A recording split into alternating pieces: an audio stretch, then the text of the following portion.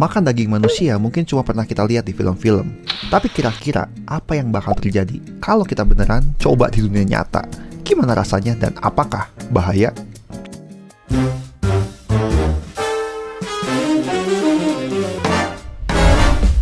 Oke, kalau disajiin daging manusia, bisa jadi kita nggak sadar. Karena bentuknya mirip sama daging merah lain. Dan meskipun tergantung sama orang yang makan, rasanya mungkin bakal mirip-mirip sama daging ini. Kalau udah dimasak, daging manusia kemungkinan nggak bakal bahaya. Asalkan orangnya bebas penyakit menular dan nggak konsumsi obat-obatan berat. Tapi ada satu bagian tubuh yang mesti dihindarin, otak. Soalnya bisa jadi otak itu terinfeksi protein yang nggak normal. Kalau kemakan, bisa nyebabin banyak penyakit yang bikin penderitanya menggigil, susah gerak, dan ngomong. Bahkan sampai... Ya, kalau pengen tahu lebih lanjut, kalian bisa nonton video ini. Oke oke, meskipun nggak bahaya, tapi emang siapa sih yang makan daging manusia? Jadi, di Eropa zaman dulu, banyak bagian tubuh manusia yang dijadiin obat. Terus ada juga yang percaya kalau bubuk dari mumi itu mujarab buat berbagai penyakit saking banyaknya orang yang beli, persediaan bubuk mumi asli Mesir habis.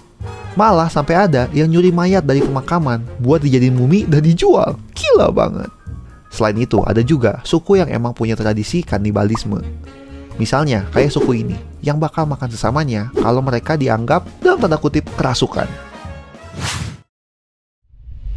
Terus ada juga yang terpaksa jadi kanibal buat bertahan hidup. Buat mereka yang kelaparan, daging manusia bisa dijadikan pengaja lapar. Kandungan energinya setara sama puluhan kilo daging sapi. Kayak orang-orang yang terjebak di pegunungan ini. Mereka kepaksa makan bangkai sesama anggota penjelajah yang udah mati lebih dulu buat selamat. Atau korban pesawat jatuh di pegunungan Andes yang makan jenazah penumpang lain. Ya, kita bakal ngerutin dahi pas dengar ada orang yang makan daging manusia. Tapi ternyata kanibalisme itu umum buat para hewan. Banyak ikan yang ngambilin telur mereka sendiri. Singa yang makan anak dari musuhnya. Dan ibu-ibu ini yang makanin anaknya sendiri kalau nggak bisa ngasih makan atau ada anak yang lahir cacat. Tapi ada juga yang sebaliknya, anak laba-laba yang makan ibunya sendiri biar mereka dapat nutrisi. Nyatanya kanibalisme ini udah ada sejak ribuan tahun lalu dan makan daging manusia nggak bikin sakit asal yang dimakan sehat. Jadi selama masih banyak daging hewan lain yang bisa dimakan, kita bisa jauhin. Hmm, makan temen.